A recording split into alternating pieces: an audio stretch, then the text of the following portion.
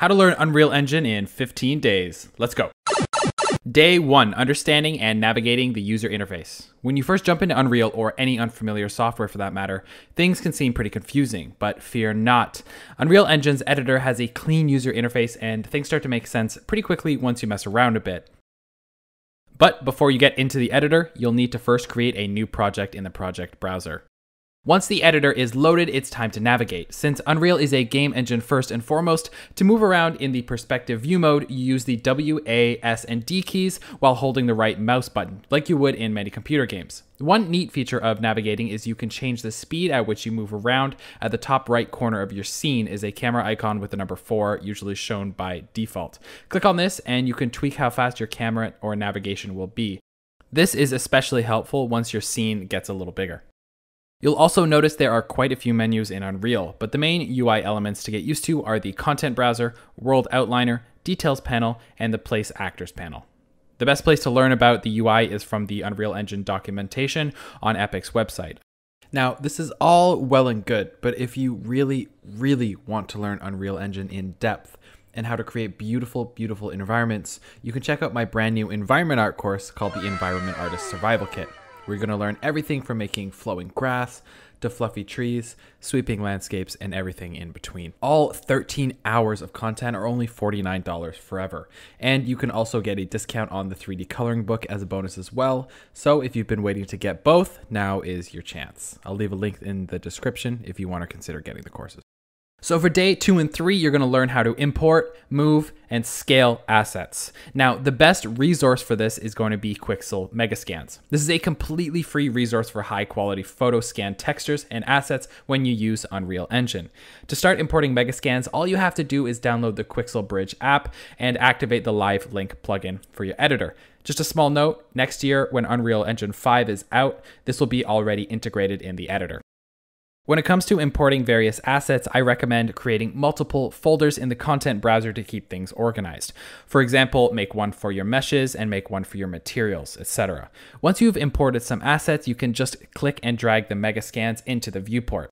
Now you can freely manipulate your objects by moving, scaling, and rotating with the W, E, and R keys. Feel free to mess around a bit and see what you can make. This is a super, super fun phase. Days 4 and 5 are going to be learning about materials, shaders, and textures. One of the aspects of Unreal Engine that makes it so amazing is the intuitive way you can create materials. Arguably, the most important feature to get good at is the material editor.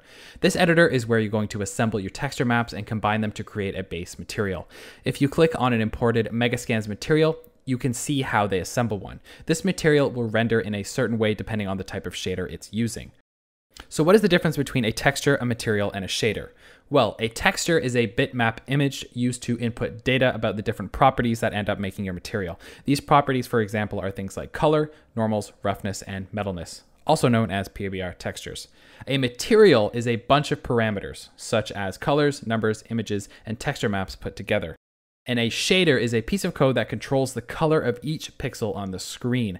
The material editor is relatively easy to get started with. However, it is such a deep part of Unreal that it could take a lifetime to truly master. So please be patient while learning and have fun with it. Day 6 and 7 are going to be learning how to create landscapes and how to create a simple scene. So before you start importing Megascans, I recommend making a small scene with a handful of assets, with a clear reference or idea for where your scene is located and what your scene is going to be about.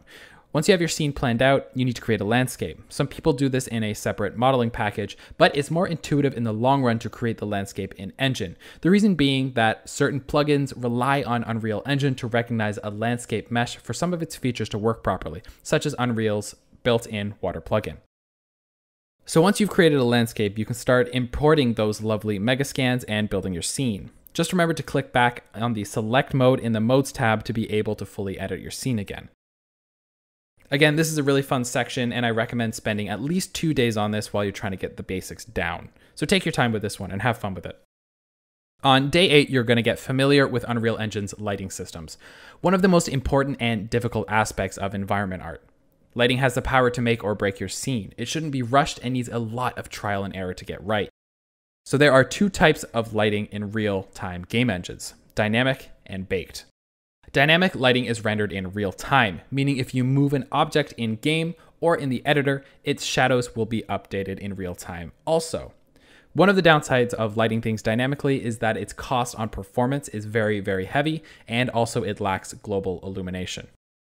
Baked lighting, on the other hand, is a static lighting that pre renders lighting and the shadows that objects cast. It is very, very much superior when optimizing performance, and most games use it with a combination of dynamic lighting when necessary. You'll also get better global illumination and shadows using this strategy. The biggest downside of baked lighting is its restrictive nature with moving objects. For example, when you compute lighting, the shadows cast by the object will stay in place despite moving the object. With Lumen on the rise in Unreal Engine 5, dynamic lighting is becoming indistinguishable from baked lighting, with all of the global illumination, virtual shadows, and optimization built into it. On day 9 and 10, you're going to get very familiar with the foliage tool. This tool will allow you to paint with a brush on your landscape, so you don't have to hand place trees, grasses, and other very simple meshes that are going to be scattered around your environment. You can also easily randomize the rotation and scale and position of each foliage asset in its details panel in the foliage mode editor. Another cool thing to get to know when making larger worlds is Unreal Engine 4's procedural volumes for foliage placement. This allows you to set parameters for how your trees will populate the terrain without having to do the actual hand painting. You just set the box and then you can automatically generate trees with different age and rotation. Learning these two tools are extremely important when rapidly creating scenes, so again, take some time and really get to know this one. So on days 11 through 13, we're going to be learning VFX. As an environment artist, one might think that learning visual VFX isn't necessary, but VFX is intricately tied to environment art and can really push your scenes to the next level. It's important to keep in mind that it isn't necessary to learn complex VFX skills, but at least learn some basic effects like wind animation, water effects, particle effects like smoke, fire, or perhaps some like magic looking particles. And if you really want to dive deeper into the environment aspects of effects, destruction effects could be another really fun avenue you could spend in the next three days. In fact, if you want to learn some basic stylized VFX, I actually have a bunch on our channel, so go ahead and check those out. I'll leave a link in the description. On day 14, I want you to get to terms with composition and optimization. When you're making environments, there may come a point when you feel like something just doesn't feel right with your scene. Chances are it has to do with the composition. But don't fret, it happens to all of us. Composition is the arrangement of elements within a work of art based on the principles of art. These elements include the arrangements of objects in the scene. Concepts of composition date back thousands of years, and they are fantastic guidelines to follow when making art, whether it's digital, traditional, 3D, or 2D. Another small tip I want to give you is when you're about to embark on creating a new scene, it's highly recommended that you think about the composition of your scene during the planning and blockout phases of your scene. This will help you not waste precious time later on in your scene and will give you a good sense of the overall direction you need to go when you start making assets. Day 15, we're going to be practicing polishing your scene. When you finish practicing these steps, whether you're following a tutorial or just playing around in Unreal Engine, it's time to put all of these techniques into practice and try and create your own scene that pushes you a little bit out of your comfort zone. Once you get to the last 10% of your first scene, you'll probably feel pretty depleted.